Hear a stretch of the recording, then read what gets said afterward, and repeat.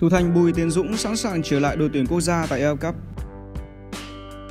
Quang Hải có cơ hội trở lại đội hình chính của Pau FC. Cầu thủ Cần Thơ lại dọa bỏ về League 2. Thủ môn Bùi Tiến Dũng sẵn sàng trở lại đội tuyển Việt Nam tại World Cup. Thủ thành Bùi Tiến Dũng đang có những màn trình diễn ấn tượng trong khoảng thời gian gần đây và liệu chăng anh đang bắn tín hiệu cho huấn luyện viên Park Hang-seo cho một vị trí tại World Cup 2022? Câu lạc bộ Thành phố Hồ Chí Minh vừa đánh rơi 3 điểm đáng tiếc trước Sông Lam Nghệ An tại trận đấu muộn nhất vòng 21 của V-League 2022. Tại trận đấu này, đội bóng thành phố mang tên Bắc có tới hai lần vượt lên dẫn trước nhưng sự xuất sắc của Phan Văn Đức đã khiến cho họ đánh rơi 2 điểm vô cùng đáng tiếc. Tại trận đấu này, thủ môn Bùi Tiến Dũng đã trở lại khung gỗ của Thành phố Hồ Chí Minh sau khi tạm nghỉ tại trận đấu gặp câu lạc bộ Hà Nội. Anh có màn trình diễn vô cùng ấn tượng, ra vào hợp lý, cứu thua xuất thần, chủ động ngăn cản sự uy hiếp cầu môn từ phía đối phương. Cả hai bàn thua mà Thành phố Hồ Chí Minh phải nhận không có lỗi của Bùi Tiến Dũng.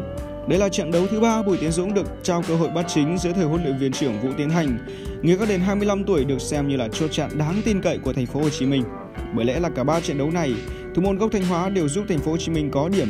Đó là chiến thắng trước Hoàng Anh Gia Lai và hai trận hòa trước BKM Bình Dương và Sâu Lam Nghệ An. Trận đấu duy nhất mà Bùi Tiến Dũng phải ngồi dự bị cho Thanh thắng là Thành phố Hồ Chí Minh nhận ngay thất bại với thảm hại 0-6 trước Hà Nội FC ngay trên sân nhà. Với những gì đã và đang thể hiện, người hâm mộ dễ dàng nhận ra Bùi Tiến Dũng lấy lại được sự tự tin và rất nỗ lực tìm lại phong độ thời đỉnh cao.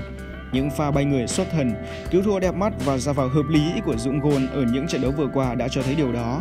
Nếu như tiếp tục giữ vững được phong độ này từ nay tới World Cup 2022, không loại trừ khả năng Bùi Tiến Dũng có thể được triệu tập trở lại đội tuyển Việt Nam.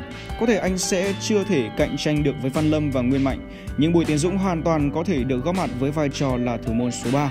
Nhất là khi ở mùa giải năm nay, những thủ môn thường có suất trên tuyển như Tuấn Mạnh của hai 2 Đà Nẵng, Văn Hoàng Sô Nghệ An hay Bùi Tấn Trường của Hà Nội FC đã không có được phong độ ổn định. Còn thủ môn trẻ Văn Toàn thậm chí còn chưa hoàn toàn bình phục chấn thương. Đã rất lâu rồi, cánh cửa đội tuyển Việt Nam đóng lại với Bùi Tiến Dũng. Người hâm mộ rất mong muốn được nhìn thấy Bùi Tiến Dũng trong màu áo của tuyển quốc gia với lá cờ 5 cánh trên ngực áo tại World Cup 2022 sắp tới. Quang Hải có cơ hội được quay trở lại đội hình của Pau FC. Trước việc Pau chỉ phải chạm trán đối thủ hạng 5 là Salineres Aguiat Monter tại Cúp Quốc gia Pháp 2022-2023. Đây sẽ là cơ hội không thể tốt hơn để tiền vệ Quang Hải vào sân ngay từ ban đầu. Trong bối cảnh đã mất đi suất đá chính tại đội hình thi đấu của Pau FC ở League One, cơ hội đã xuất hiện với tiền vệ Quang Hải khi mà đội bóng của anh sắp bước vào đối đầu với đối thủ Salimeres Aguiat Monter vào cuối tuần này.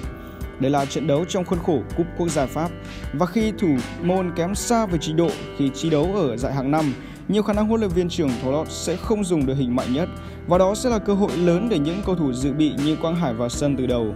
Một khi điều này xảy ra thì đây cũng sẽ là dịp để tiền vệ sinh năm 97 chứng minh được năng lực và ghi điểm với ban huấn luyện, đặc biệt là huấn luyện viên trưởng Tholot.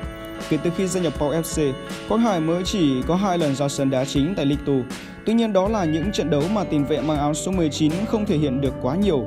Hệ quả là sau đó anh đã bị đẩy lên băng ghế dự bị và chỉ được ông Thoros sử dụng trong ít phút cuối trận. Trận đấu giữa Pau FC và Salineres Aguet Monter sẽ diễn ra vào lúc 0 giờ ngày 3 tháng 10. Đây là một đối thủ đang chơi ở giải hạng bán chuyên, còn Hải hoàn toàn có thể nghĩ đến chuyện tỏa sáng. Tính đến lúc này, dấu ấn lớn nhất của Hải con tại Pau chỉ là bàn thắng quân bình tỷ số 2 đều vào lưới của rodes ở vòng 11 của League 2. Cầu thủ của Cần Thơ lại dọa bỏ V-League. Theo tìm hiểu của Dinh, nhiều cầu thủ Cần Thơ lo lắng trước vòng đấu cuối tại giải hạng nhất quốc gia 2022.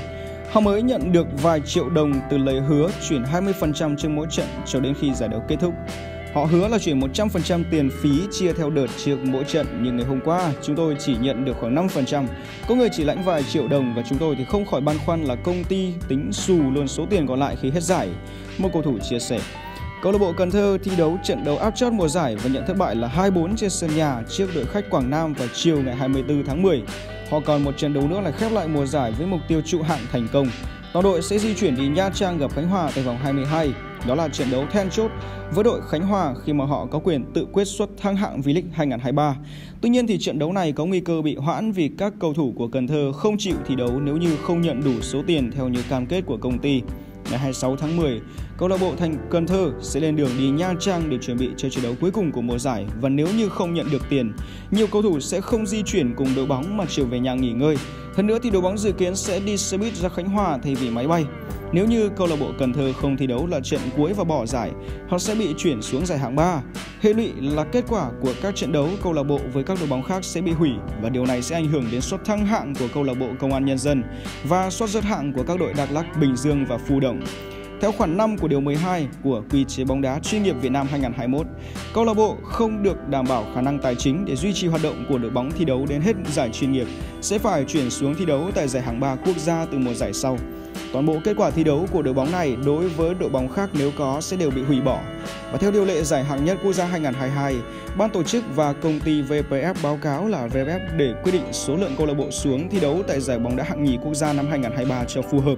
Về kết quả thi đấu, toàn bộ kết quả thi đấu về điểm số và bàn thắng giữa câu lạc bộ này với các câu lạc bộ khác đều bị hủy bỏ. Đấy không phải là lần đầu tiên cầu thủ Cần Thơ dọa bỏ giải và đình không không thi đấu. Họ thất vọng nhiều lần khi liên tục bị các nhà tài trợ bỏ rơi, không thanh toán các khoản phí cơ bản như lương thưởng và tiền sinh hoạt.